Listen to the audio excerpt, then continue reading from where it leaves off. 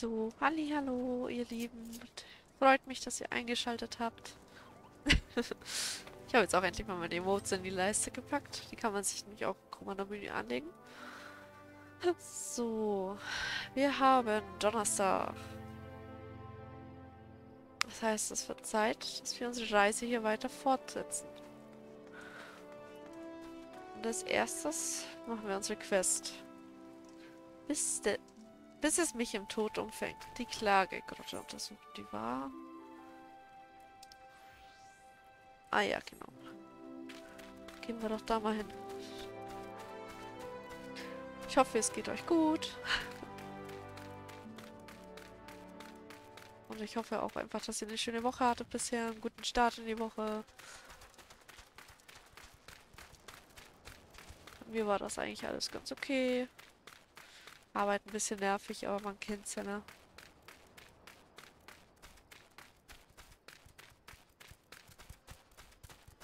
Oh, heute Morgen habe ich glatt ein bisschen verschlafen. Leider. Gott sei Dank. Ich bin auch pünktlich zur Arbeit gekommen, so ist nicht. Oh, ich laufe voll durch die Pampa. Ähm, also ich war noch pünktlich und alles, so ist nicht, aber... Es war trotzdem ärgerlich. Es ist kein guter Start am Morgen, wenn man verschläft. Wirklich nicht. Ist der ganze Tag schon im Eimer.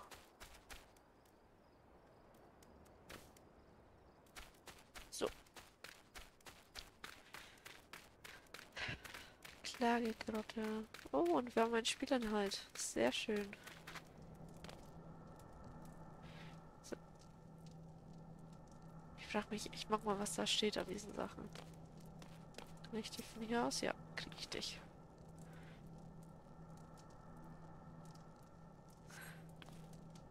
Dann beginnt ein Instanzkampf. Solche Kämpfe treten nur bei besonderen Aufträgen auf. Lies dir die Tutorial-Text gut durch und stell dich dann der Herausforderung. Ja, wir machen das jetzt einfach. So.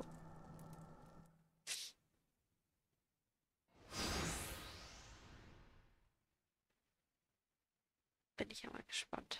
Ich bin die Welle, die mich auf dem Rücken trägt. Ich bin der Wind, der Gischt auf alle Wellen schlägt.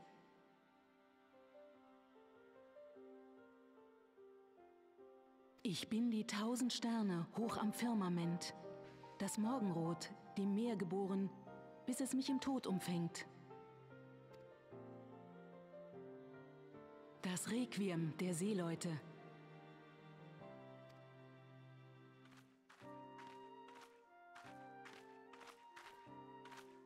Für das Meer geboren und wieder zu ihm zurückgekehrt. Das ist das Leben in den Augen der Limser. Sie beten für die Fischer, dass sie am Ende des Tages sicher an Land zurückkehren. Und für diejenigen, die ein Leben an Land gewählt haben, dass ihre Seelen dereinst zum Meer zurückfinden mögen. Lass mich raten, du bist diese Abenteuerin, die sich seit kurzem bei dem Sommerfurthöfen aufhält, hm? Ich war auf der Suche nach einem Entführer, aber offenbar auf der falschen Fährte. Oder vielleicht doch nicht?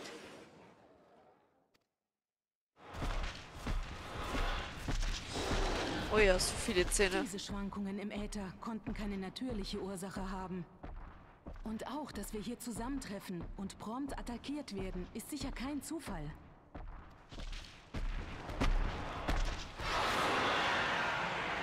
Aber wer will uns hier zum Schweigen bringen? Wie auch immer. Mit dem hier werden wir schon fertig.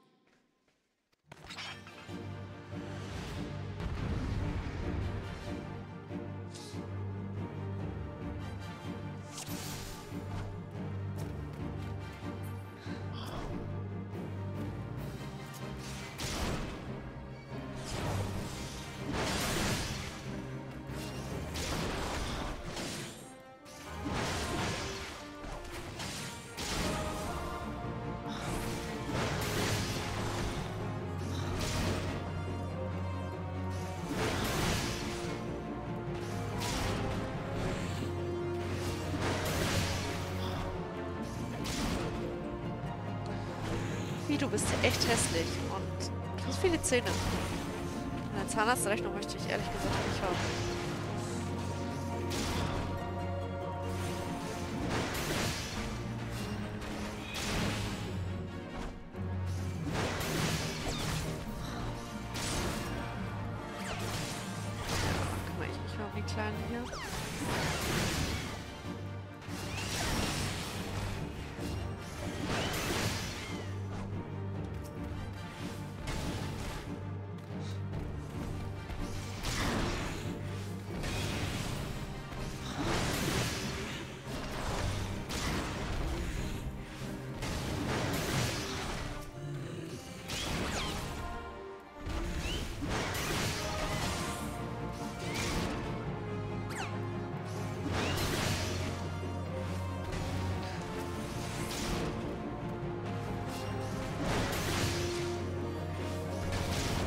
Ja.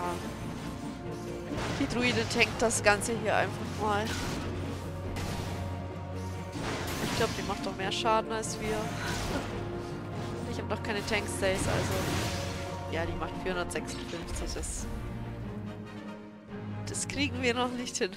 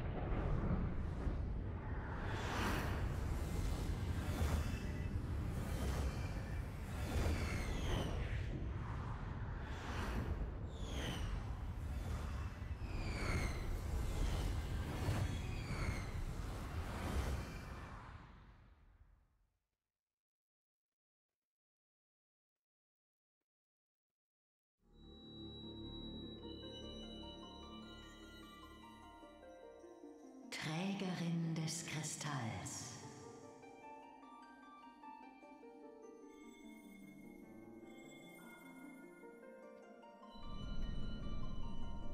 Höre Heidelins Ruf. Die Welt ist davor, ins Chaos zu sinken. Finsternis breitet sich aus. Sie droht zu ersticken, was hell ist und gut. Sie löscht aus, was lebt. Doch dein Licht strahlt hell. Du kannst die Vernichtung verhindern.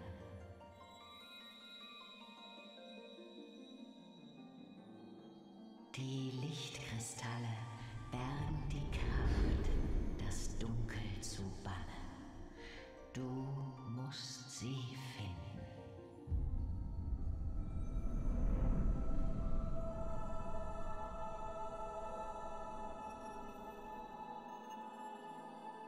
Ja. Einen habe ich ja schon.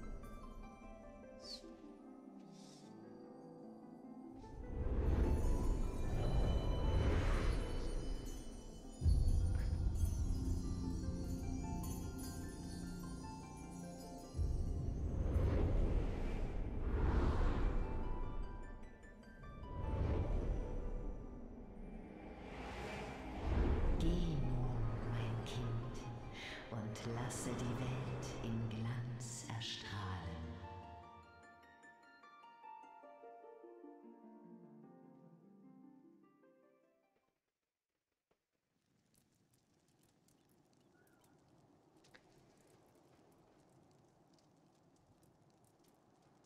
Bist du wieder bei dir?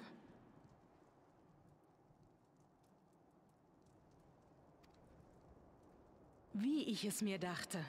Sie war von einem fremden Willen gelenkt.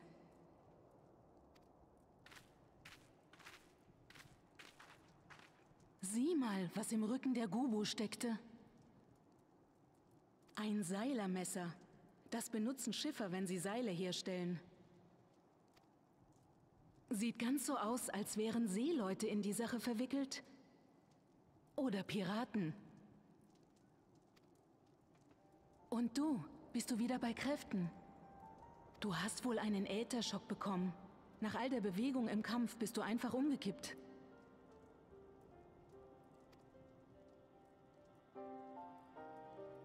Ein riesiger Kristall?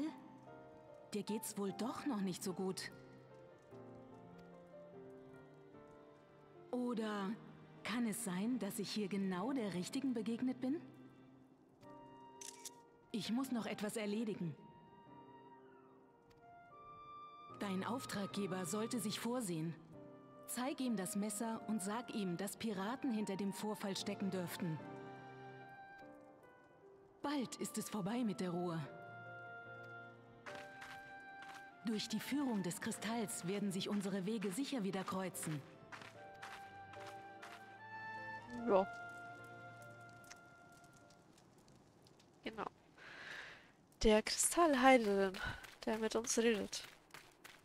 Die Urmutter der Erde. Oder dieser Welt, eher gesagt. Wird ja hier so verehrt als Gottheit.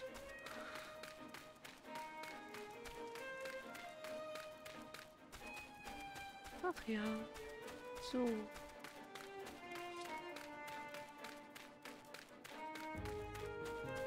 Aber die Mikote war hübsch. So schön.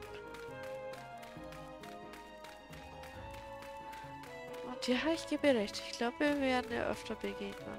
Beziehungsweise, ich weiß es. Kleiner Spoiler am Rande.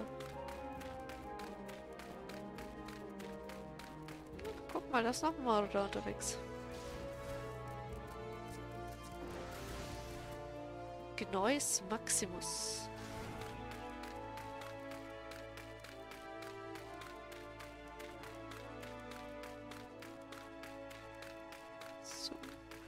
Aber dann können wir unsere Quest schon mal abgeben. Und ich glaube, er hat auch danach noch mal eine für uns. Mal gucken, was wir dann machen dürfen.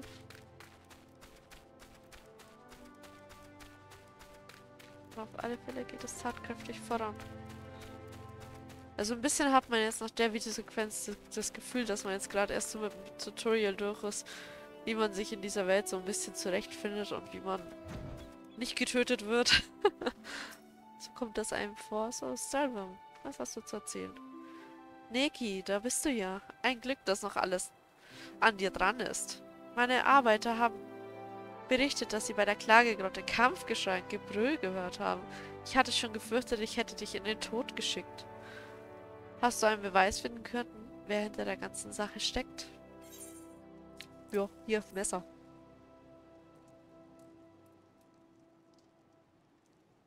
Hm, das Seilermesser steckt im Rücken einer Ghoul.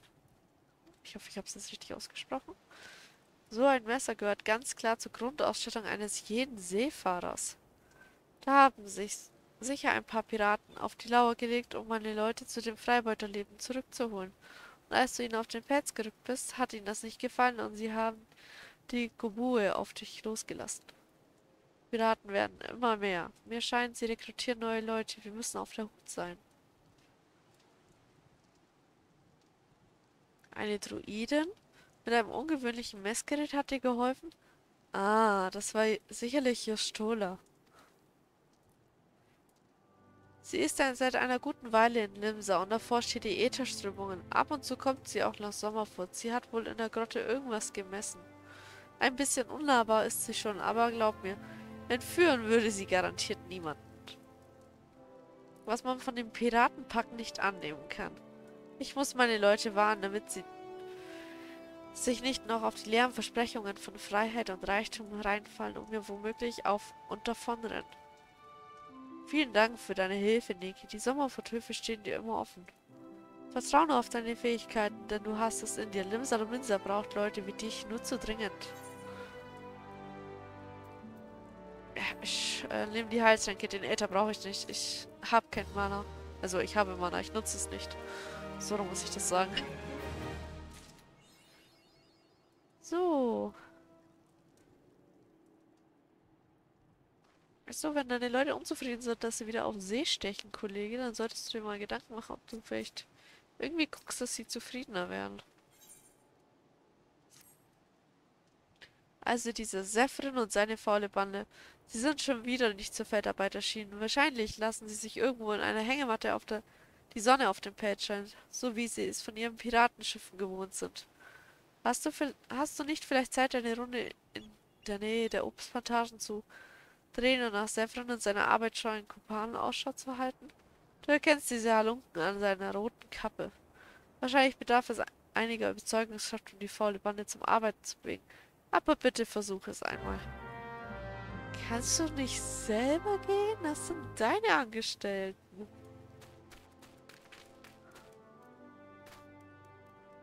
Also eigentlich müsste ich sterben, ne? Okay, ein bisschen verleben.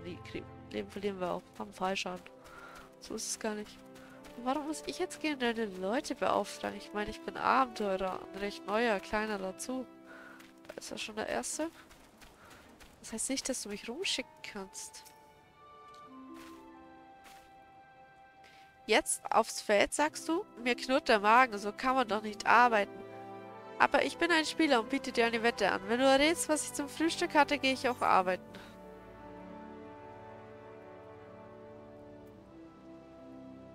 Käse-Schinkenbrötchen. Ohne Schinken, ohne Käse. Triffst du immer so einen Schwarze? Ach, ich bin diese Magerkost leid. Gut, gehe ich halt. Aber nur bis, mir, bis ich genug Geld für ein gutes Stück Pökelfleisch verdient habe. Ja, Kollege, du wirst weiter hungern, wenn du nicht arbeitest. Weißt du, wer, wer arbeitet, kriegt doch sein Geld. Wenn du nur so rumsitzt, hast du kein Geld. Da gibt's auch kein Pökelfleisch. Ui, was kämpft hier dann? Ein Ninja.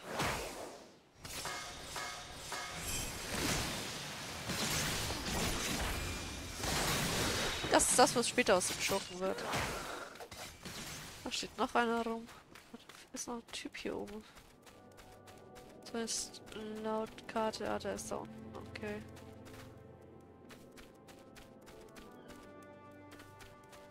Ach, hier. Am Trinken bei der Arbeit. Schon wieder Arbeit? Wir waren doch erst letzte Woche auf dem Acker. Immer diese Plackerei. Wenn du errätst, womit ich jeden Abend meine Sorgen ertränken muss, gehe ich auch arbeiten. Dünnen Apfelwein. Du trinkst, Kollege. Du schaust aus wie der Alkoholiker. Wie hast du das noch erraten? Davon kann man sich ein ganzes... Davon kann man ein ganzes Fass saufen und hat immer noch die gleichen Sorgen. Sogar eher mehr. Was gebe ich nicht für eine Flasche... Ach, was?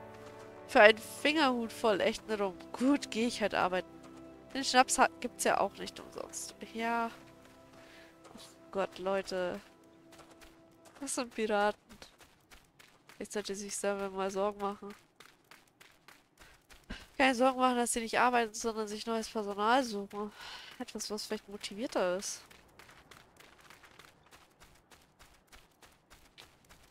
So, hier irgendwo rechts müsste noch einer sein auch irgendwo unten. Der Pfeil auf der Karte zeigt nach unten in diesem Kreis, also... Hi. Hi. Ich hier wieder hoch? Ich hoffe. Hey, Kollege. Die Arbeit ruft? Ist das dein Ernst? Löwenzahn pflücken ist doch keine Arbeit für einen Seebären wie mich. Da schäme ich mich ja. Meine Arbeit... Meiner Axt ins äh, Gesicht zu gucken. Hast du keine Ahnung, was für eine wichtige Aufgabe ich auf meinem Schiff hatte. Äh, Intermannschaft Chirurg. Ich sag Intermannschaft.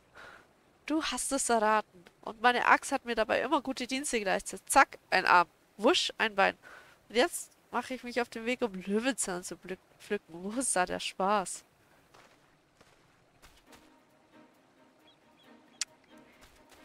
Ja. Du Spaß am Leute verstimmen hast, okay.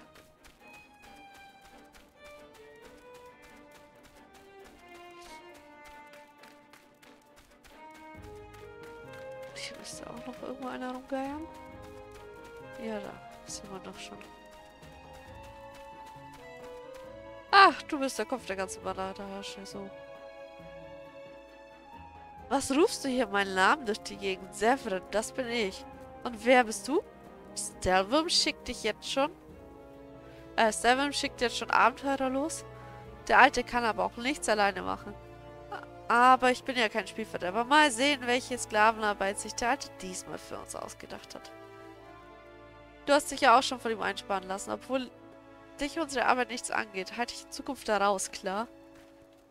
Da sind wir wenigstens mal einer Meinung, Kollege. Aber du musst trotzdem arbeiten. Darfst du dir nicht so einen Job annehmen, wenn du keinen Bock drauf hast? Dann musst du dir was anderes suchen.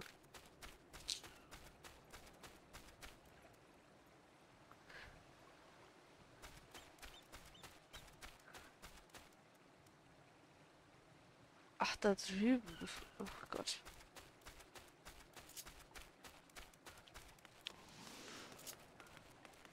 Sprint. Lauf, Lala.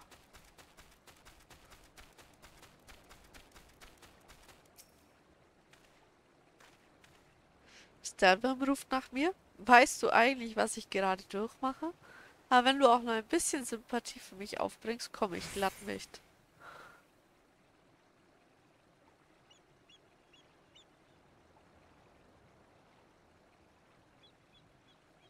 Dann findest du das Leben hier wohl eintönig. Dann fühlst du dich der harten Arbeit nicht gewachsen, oder? Also, er kommt von der, von mehr. Also, ich glaube nicht, dass ihm die Ackerarbeit zu hart ist. Ich sage, es ist ihm zu eintönig. Du triffst den Nagel auf den Kopf. Es fällt mir nicht leid, mich ans sesshafte Leben an Land zu gewöhnen. Aber ich will es noch einmal versuchen. Schließlich habe ich meinem Piraten Ehrwort gegeben. Ja, die Piraten-Ehrenwörter.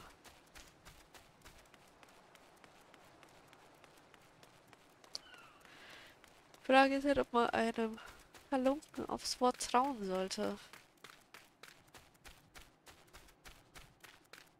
Die meisten Piraten gehen eigentlich nur morden, rauben, plündern, zerstören, aber nicht unbedingt gerade für ihre Loyalität ihren Versprechen gegenüber bekannt. Es sei denn, sie schwören was auf ihren Kodex. Ihr Kodex ist nochmal eine andere Nummer, aber ich bin mir nicht sicher, ob die Piraten hier in diesem Game einen Kodex haben.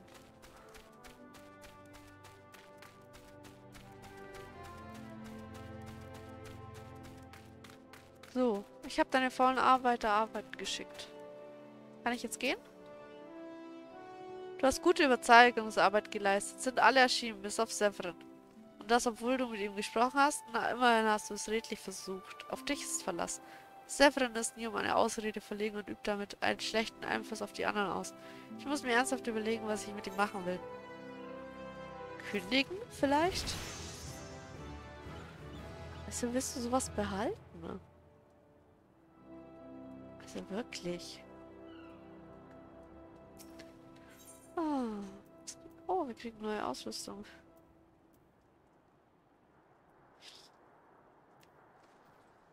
Um es zu vermeiden... Ja, das brauche ich jetzt nicht durchlesen. Erzählt er mir eh. Ich habe einen etwas bekannten Auftrag für dich. Ich frage dich, weil ich weiß, dass ich dir vertrauen kann. Ein Teil der Waren, die wir dem Latagran Grenzposten liefern, kommt dort nicht an. Ich habe den Verdacht, dass Severin, der mit der Lieferung betraut ist, die Waren unter der Hand verkauft. Gerade habe ich ihn mit einer neuen Lieferung losgeschickt. Verfolge ihn und stelle ihn zur Rede. Du erkennst ihn an seinem roten Kopftuch. Auch wenn er mit der Sache nichts zu tun haben sollte, möchte ich mich ver wenigstens vergewissern, dass die Orangensäcke, die er transportiert, sicher ihr Ziel erreichen. Ich war gerade schon bei Severin. Ich weiß, wie er aussieht. Lass mir nicht nochmal erklären. Jetzt lässt er mich schon wieder laufen. Bis wohin müssen wir eigentlich? Ach ja.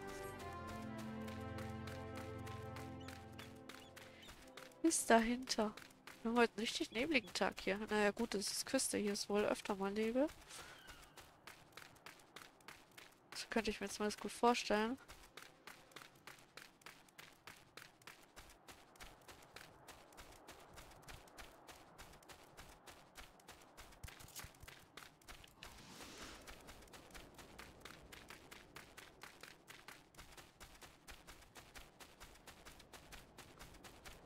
Lala, lauf.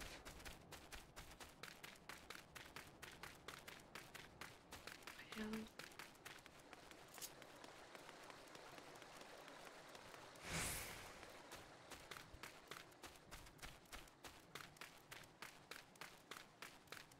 Da ist ein Fade.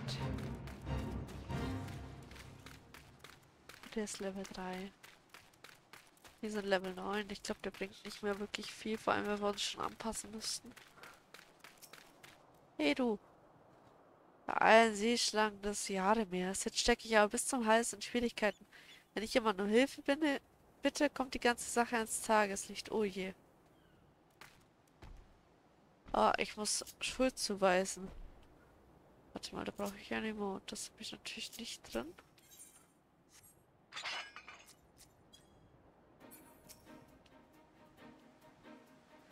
Mal die Axt. Ah, nee. Diese Ansicht wollte ich auch nicht. Was Person waren wir dann hier? Das kann ich, glaube ich, gleich mal ins Kommandomenü anlegen.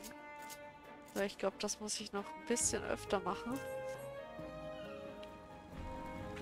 Hey, ich beschuldige dich. Du bist schuld. Was ich mit der Orange gemacht habe, fragst du? Soll das heißen, dass ich unter Verdacht stehe? Ich, der fleißige, ehrliche Severin? Du bin durchschaut worden? Gut, gut, gut. Ich gebe die Orangen ja zurück. Aber zuerst musst du meine dritte Ko drei Kumpane retten. Wir sind dort drüben in der Nähe des Lagerfeuers von einem räuberischen Bande Goblins überfallen worden. Denen wollten wir die Orangen verkaufen. Ernsthaft? Jetzt bist du noch so ehrlos und tust den Typen, der euch versucht hier an Land zu helfen, verarschen und jetzt soll ich euch noch den Hintern retten, ne? Also wirklich. Armselig. Wirklich armselig. Ach, das sind ja die drei von vorn.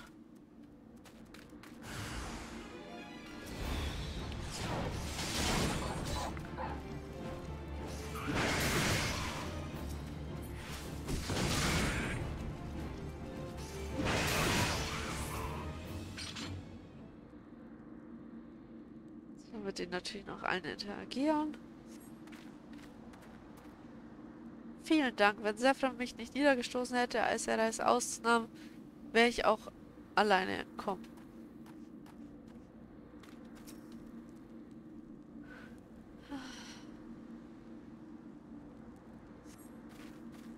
Tausend Dank. Wenn mein Magen nicht so leer wie Sephrams Versprechen vom großen Geld wäre, hätte ich mich schon längst aus eigener Kraft befreit.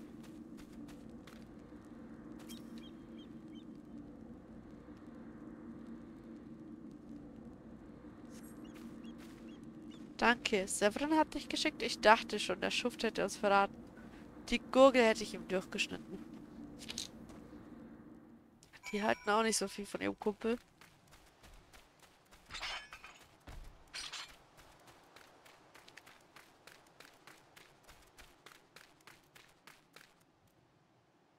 Du bist unbeliebt, Kollege. Sind alle wohl auf? Hagelsturm und Tropenwind, da bin ich aber erleichtert. Ich habe gekämpft wie ein Oger, um meine Kubane von Goblins zu beschützen, aber es hat nicht gereicht. Danke, dass du sie befreit hast.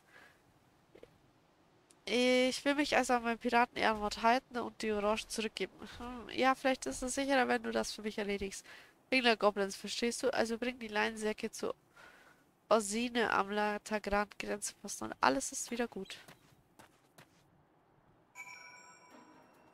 Darf ich auch noch deine Säcke schleppen? Also ich dachte ja bei Abenteuer oder so, Jobbeschreibung wäre so, keine Ahnung, Abenteuer erleben. Monster bekämpfen, also aber nicht das. Wäre das so schwer gewesen? Die blöden Säcke selber hier hinterzutragen. Hat auch eine Ausrede gesucht, um sie wieder hinzulegen. Wie Storm gibt uns dafür nicht wenigstens eine Belohnung, eine gute oder so.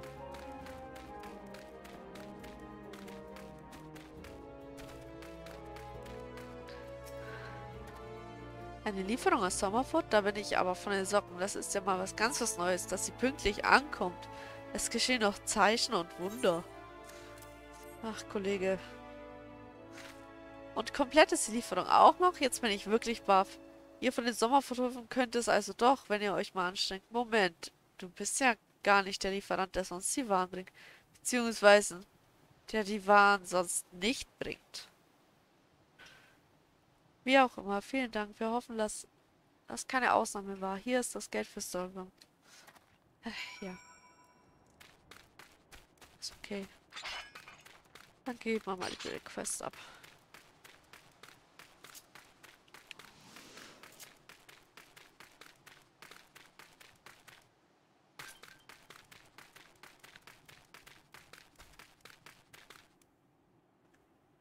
Clement.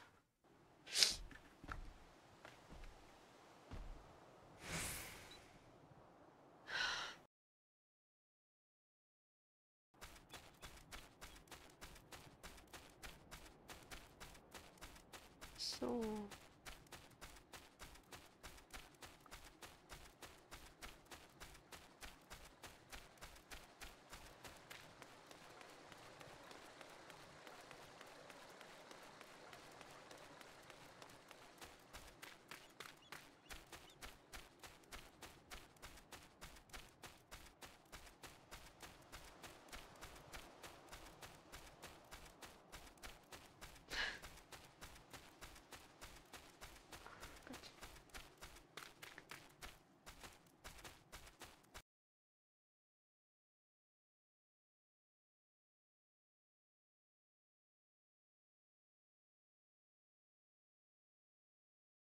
Oh, das, warte, ich habe das vollkommen übersehen hier. FG von TJ Dragonair. Was ist das?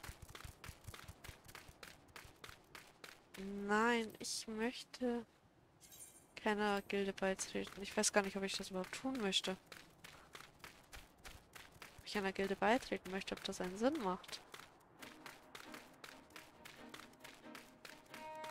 Sondern für sich macht es einen Sinn in dem Spiel, aber ich weiß nicht, ob es jetzt für diesen Charakter einen Sinn macht. Aber nicht mit einem englischsprachigen Kind. Mein Englisch ist absolut grottig.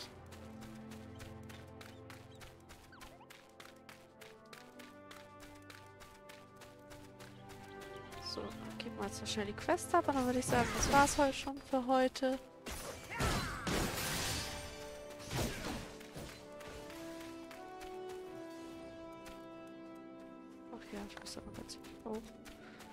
war es dann auch schon für heute. Wir haben ein, zwei Quests mehr geschafft. Wow. Aber wir haben ja Stroller getroffen. Das ist doch schon mal toll gewesen. Vielleicht sind wir mit dem Typen hier auch fertig. Das sehe ich gleich. Da bist du ja wieder. Was ist aus der Lieferung Orangen geworden? Ist sie sicher am Latagran? Grenzposten angekommen? Ja, hier ist dein Geld. Du hast sie dort abgeliefert? Vielen Dank, dass du dich um die korrekte Zustellung gekümmert hast. Dieser Severin wollte also tatsächlich unsere Orangen unterschlagen. Dann hat dieser Lunke sie auch noch mit der Goblin-Bande eingelassen und so seine Kumpane in Gefahr gebracht. Aber es wundert mich nicht, dass er seine Komplizen im Stich gelassen hat. Das sieht ihm ähnlich. Dafür, dass er sich als erfahrener Seemann nicht an die Feldarbeit gewöhnen kann, hatte ich noch Verständnis, aber seine Gaunereien sind nicht mehr zu entschuldigen. Du solltest dich auch etwas vor ihm in Acht nehmen. Man kann nie wissen. Weißt du, dafür bekomme ich jetzt nur 179 Gil. Bitte sich diese das, weil die Rüstung ist nicht so geil. Ähm, dafür, dass ich jetzt die Aufgabe von seinem Arbeiter gemacht habe, der zu unfähig ist. Aber wir sind fertig mit ihm. Wuhu. Ach, jetzt hat er die nächste Quest. Ja, ich würde sagen, die machen wir dann beim nächsten Mal.